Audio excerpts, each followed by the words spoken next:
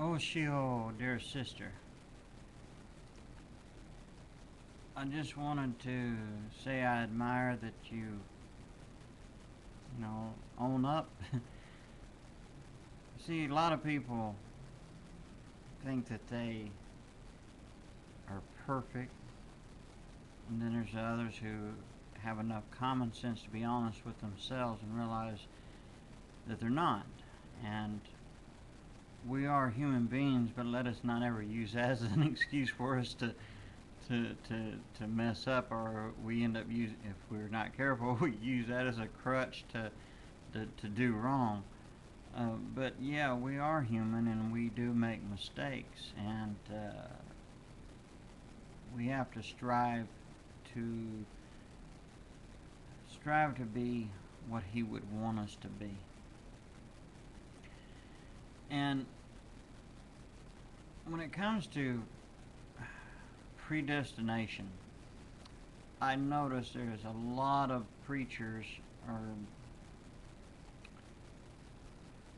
I guess you can say some are preachers of what? Uh, they they go on to about things that they know nothing about, and they and, and, and they will never be honest with themselves. Uh, they won't even own up that they don't know everything. It's like it's too much of trouble for them to admit this truth. So here's the thing. You on predestination. It's one of those topics that you could probably spend a lifetime trying to discuss and debate the issue. Paul talks to uh, Timothy about such things, you know, about arguing over words, you know, and things, you know, and over old wives' tales, uh, genealogy, and all this, you know. You'd be surprised. People will, well, maybe not surprised. You probably ran across it yourself. And people will argue over words semantics. It's kind of like, why can't they get past this? And they'll probably be doing this until the day the Lord returns. So, I mean, they could be coming and splitting the clouds wide open and be coming and they'd still be doing it. That's that's how stubborn a lot of them are. And they might be stubborn enough to try to defend themselves before Yeshua. I don't know what the, the, the deal is, but uh, you know they they gotta they gotta learn to to break loose of that.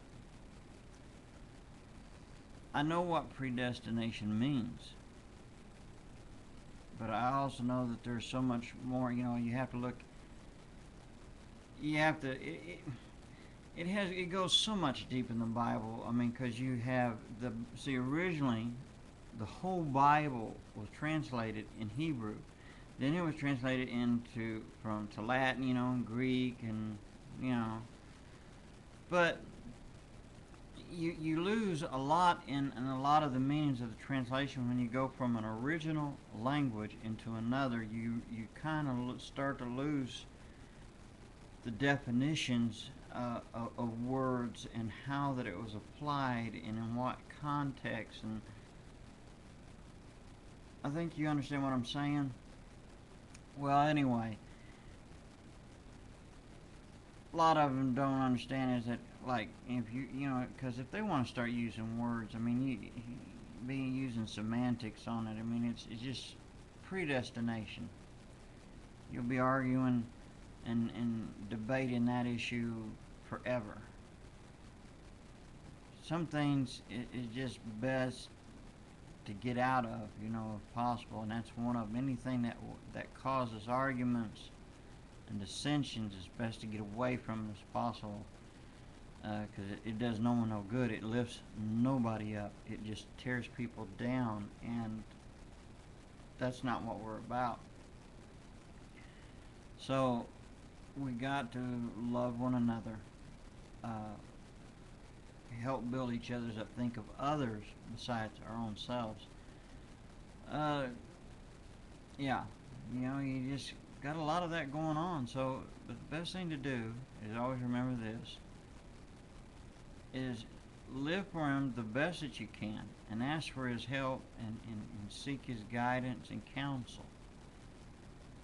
See, a lot of them don't realize that is what the Holy Spirit, what He is there for, is to be your counselor, your your helper, to lead you and guide you.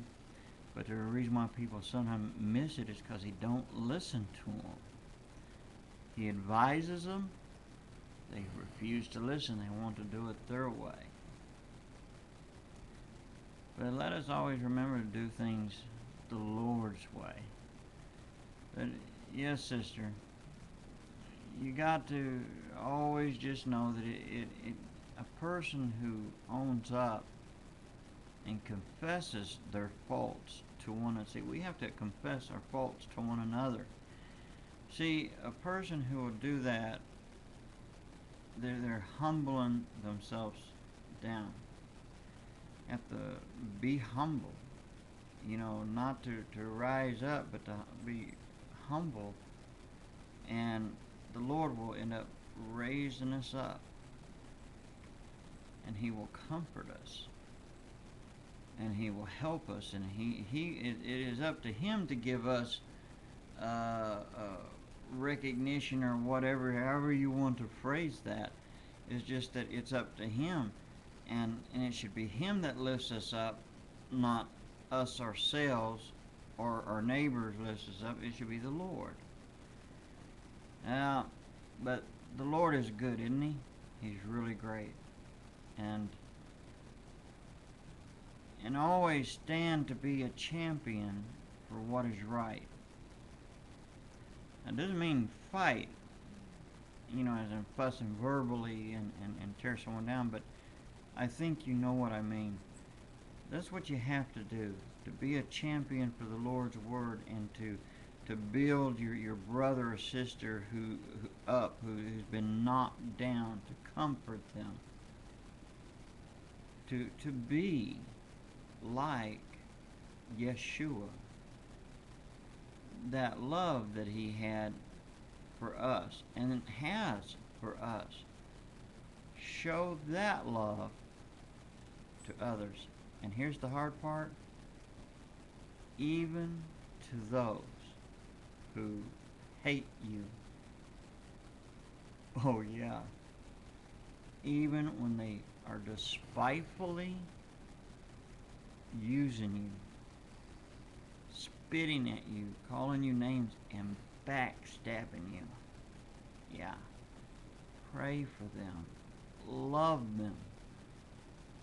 Because he, the Lord is good to the righteous as well as he is to the, the unrighteous and vice versa. God is good. So show that love to them. Love like Yeshua loves us. See, because the one you got to keep doing that, and and here's it with